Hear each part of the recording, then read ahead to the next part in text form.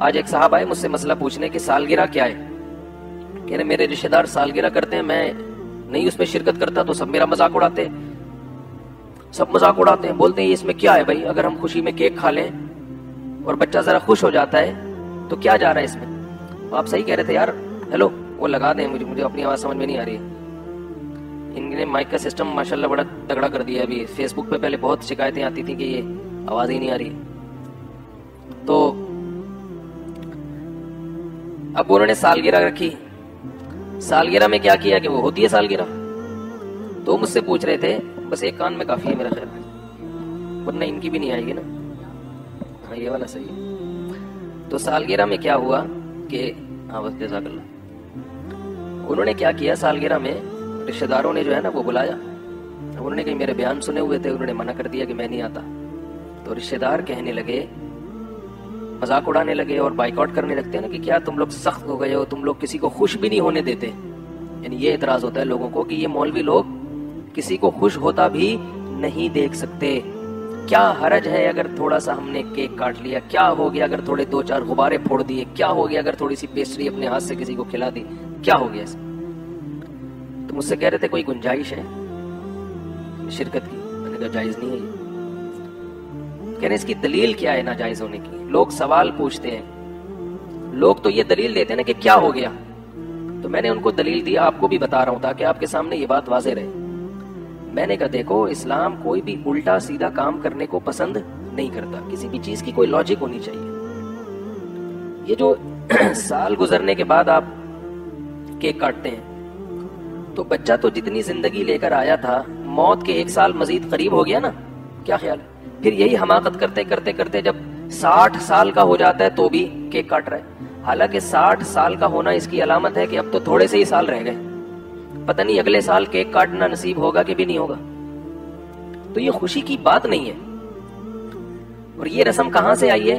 गोरों से। गोरों से अगर कोई ऐसी रस्म आई हो ना, जिसकी कोई लॉजिक बनती हो तो वो कर लें। इसलिए करें कि ये ना कहें कि हम गोरों की रस्म के तौर पे कर रहे हैं। बोले, भाई, गोरों की ये रस्म है तो गोरों की, मगर इसकी लॉजिक बहुत अच्छी है तो हम लॉजिक की वजह से फॉलो कर रहे हैं उसको। हदीस में आता है कि हिकमत की बात मोमिन की गुमशुदा चीज़ है, जहाँ से मिले ले लो। अगर कोई गोरा अच्छा काम कर रहा है, देखो, हमारे यहाँ ज़्यादातर काले लोग हैं और वो लोग क्या ज़्यादातर? गोरे हैं। तो इसलिए सब लोग क्या बनना चाहते हैं? गोरा होना चाहते हैं कि नहीं चाहते? इसलिए कि जब उनको देखते हैं, यार, ये व्हाइट चमड़ी जो है ना, ये जरा इसमें अट्रैक्शन ज़्यादा है। अब कोई मुफ्ती कहे कि गोरा बनना जायज़ नहीं है। क्यों जायज़ नहीं? इसलिए कि गोरे गोरे होते हैं। तो आपको मुशाबत लाजिम आएगी। हम कहेंगे गोरे गोरे होते हैं, अगर वो गोरे देखने में अच्छे लग रहे हैं तो हम भी चाहेंगे, यार, हम भी थोड़े से गोरे हो जाए। तो कोई ऐसा काम जिसकी कोई लॉजिक हो, अगर वो कर रहे हैं तो आप भी करें। क्योंकि उसमें मुशाबहत लाजिम नहीं आती। आप कहेंगे, भाई, हम इसलिए नहीं कर रहे, हम तो ये इसलिए कर रहे हैं। हम भी नहीं, मुशाबहत की वजह से नहीं कर रहे। और जिस काम की कोई लॉजिक बनती नहीं है, उसमें सिवाय गोरों की नकाली के गैर मुस्लिमों की नकाली के नकल परस्ती के कुछ भी नहीं है। सिवाय इसके कि वो चूंके करते हैं तो हमने भी उनसे ले लिया। रहा ये मसला के खुश होने के लिए अगर कोई बहाना किसी को मिल जाए तो उसकी में लॉजिक तलाश करने की क्या ज़रूरत है? तो भाई, जब लॉजिक के साथ भी खुश होने के दर्जनों मौके आपके पास हैं तो बिला वजह की खुशियाँ मनाने की क्या ज़रूरत है? अब वो साहब जो आए थे, कहने लगे कि यार वो बच्चे की सालगिरह थी तो अगर मैं तो मैंने कहा, सालगिरह के बजाय कोई और काम कर लेते। बोलते कि बच्चा जो है ना, फ़र्स्ट आया है। फ़र्स्ट नहीं आया तो चलो बच्चा सेकंड आया है।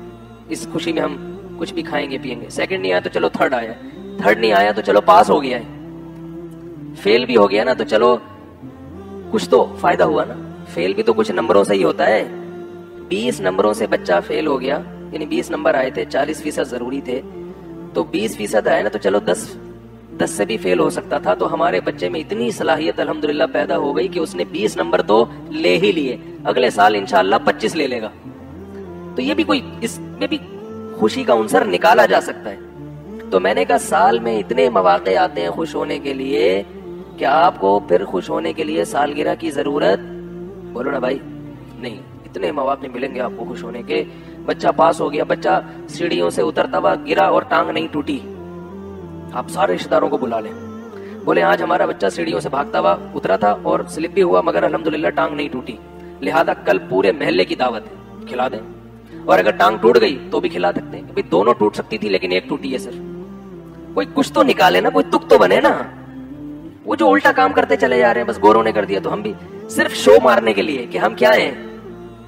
हम भी जरा मॉडर्न लोग हैं मॉडर्न अपने आप को मॉडर्न साबित करना, ये चीज़ें होती हैं। और अगर किसी की नीयत मॉडर्न साबित करना नहीं भी है तो भी मैंने बताया कि नबी सल्लल्लाहु अलैहि वसल्लम ने बहुत शदीद वही सुनाई है। मन तशब्बह बिकौमिन फहुआ मिनहुम, जिसने किसी कौम की नकाली की मुशाबहत इख्तियार की, वो उनमें से है, हम में से नहीं है। हमारा एक तशखुस है मुसलमानों का। हमें तो चाहिए कि हम उनको अपना कल्चर दिखाएँ कि भाई इसको फॉलो करो, हमारा वाला तुमसे अच्छा है। हम सालगिरह नहीं मनाते, हम बच्चे की पैदाइश पे गोश्त खाते हैं और गोश्त खिलाते हैं हकीका करते हैं। गोरे कभी करते हैं ये काम? हम गोरों से सालगिरह ले रहे हैं, मगर गोरे हमसे हकीका नहीं ले रहे। वो कहते हैं, ये कौन होते हैं जिनसे हम सीखें? हालाँकि हमारे अकीके की लॉजिक है। बच्चे की पैदाइश हुई है, कितनी बड़ी खुशी है कि नहीं है? बेटा पैदा हो गया तो और डबल खुशी होती है तो शरीयत ने क्या कहा? दो बकरे काटो, खुद भी खाओ पब्लिक को भी खिलाओ। केक से क्या होता है? सिवाय गैस ट्रबल के और केक की तरह भूल जाओगे। तो गोरों ने हमसे अकीका नहीं लिया। हालाँकि हमारा अकीका उनके सालगिरह के केक से हज़ार गुना बेहतर है। हम उसमें बकरा काटते हैं। क्या साहब, बकरे के नाम सही मज़ा आया कि नहीं आया? ताज़ा जो बकरा होता है ना, उसका गोश्त कैसा मज़े का होता है, उसे पका के खाएँ हम अपने खर्चे पे। बड़ा मज़ा आएगा उसमें। या दुम्बा काट लें, या गाय का ताज़ा गोश्त काट लें तो ये सब चीज़ें शरीयत ने कहा है कि भाई इससे ताकत भी आएगी और जो है, क्या नाम है, खुशी भी होगी। इसी तरह और मौके पर बच्चों का कुरान खत्म होता है। हज़रत उमर रज़ी अल्लाह तु के बारे में एक रिवायत है कि जब उन्होंने, क्या सूर्य बकरा का खत्म किया तो लोगों को खाना खिलाया उन्होंने। और साहबा के नाम इस तरह किया करते थे। तो खुशी के मौके पे कुरान खत्म हो गया बच्चे का। ये स्कूल में पास हो गया है अच्छे नंबर आ गए हैं। तो ऐसे मौके पे आप खुशी मनाते रहे मनाते रहे मनाते रहे। कोई अल्लाह की तरफ़ से भी पाबंदी नहीं, गवर्नमेंट की तरफ़ से भी। और ये चीज़ें करेंगे तो शायद गोरे भी हमें फॉलो करना शुरू कर दें।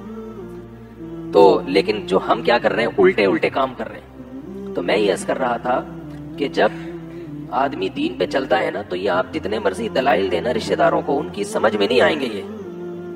समझ में समझ में नहीं आएँगे समझ में तो सारी चीज़ें आखिरत में आएँगी। दुनिया में या तो पुलिस समझा सकती है, या दलाइल से आप समझा सकते हैं। पुलिस आपके पास है नहीं, और दलाइल वो समझना चाहते नहीं है। बर्थडे का केक खाने का हुक्म। आपने कहा था, बर्थडे मनाना जायज़ नहीं, लेकिन अगर घर में केक आता है तो क्या मैं केक खा सकता हूँ? ये मेरे लिए जायज़ है या नहीं? सैयद मोहम्मद आदिल लखनऊ से। देखिए केक चूँकि बजाते खुद एक हलाल चीज़ है तो केक हराम नहीं हो जाता। असल में बर्थडे में किसी के साथ शिरकत आप करते हैं तो एक बुरी रस्म की तायद करते हैं, इसका गुना होगा। तो वहाँ जाके खाना तो बिल्कुल जायज़ नहीं है। आपने बाइकआउट किया, उन्होंने फिर भी घर में बेच दिया। तो घर में तो कबूल नहीं करना चाहिए ना। आपको आप बोले, भाई, हम बर्थडे नहीं मनाते तो कबूल जब कर लिया तो शिरकत तो हो गई आपकी। फिर उसको खाने में कोई हरज नहीं है, क्योंकि एक रिस्क है, वो ज़ाया होगा बिला वजह। तो उसको खा सकते हैं आप। और अगर बिल्कुल ही बाइकआउट करें, हम खाएँगे ही नहीं तो और ज़्यादा अच्छा है। वैसे भी केक खाने से आपको मोटापा आएगा और दस किस्म की बीमारियाँ पैदा होती हैं।